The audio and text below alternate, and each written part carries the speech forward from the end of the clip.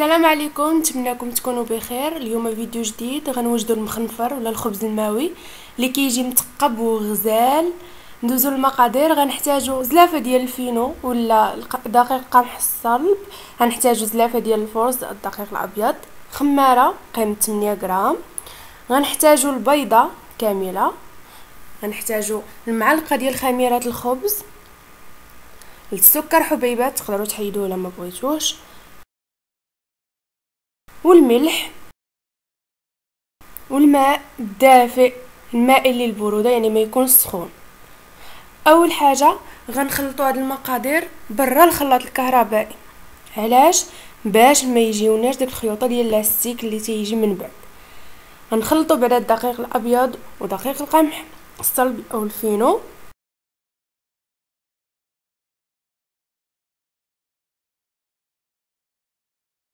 نزيدو ليهم خميره الخبز وشوية ديال السكر حبيبات. هانتوما تشوفوها نعبر بنفس الزلافة اللي عبرت بها الدقيق. غنعبر جوج زلايف. غناخد بعدا الزلافة الأولى ناخد شوية ديال الماء ونحاول نخلط ديك الخميرة والسكر. بعدا هما الأولين وما نضيفش الملح من الأول.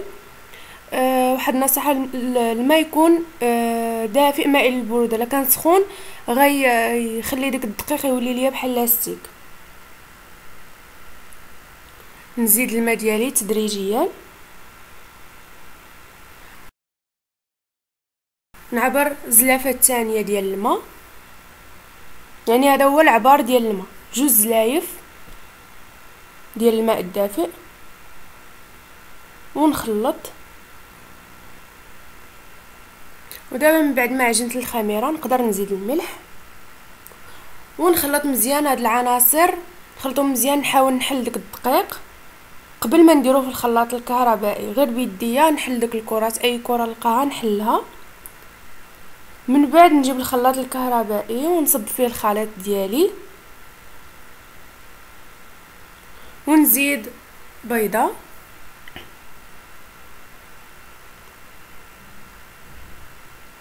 ونزيد خمارة ونخلط العناصر ديالي جيدا.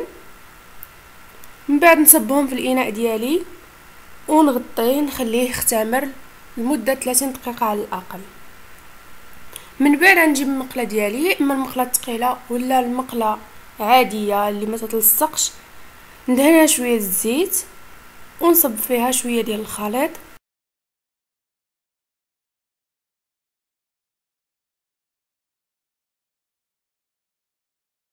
ونخلي الخليط ديالي حتى يبدا يتقب ليا المخنفر على نار متوسطة. ونخليه حتى يطيب واحد 80% من الجهة الفوقانية ونقلبها للجهة الأخرى اللي غنخليها حتى هي تطيب وتحمر ونحيدها. وكل مرة غندير العجين غندهن المقلة ديالتي ونصب الخليط ونخليه كيف ما قلت يطيب ويتثقب هانتوما تتشوفوا كيفاش كيجي هو تيبدا يتثقب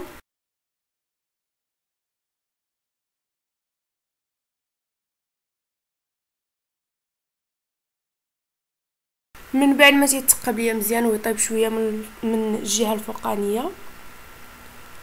تنقلبو ونخليه يطيب من الجهة الأخرى. هانتوما تشوفوا كيفاش كيجي مثقب وغزال نتمنى يعجبكم نتمنىكم تجربوه وتشتركوا في القناة ديالي وشكرا لكم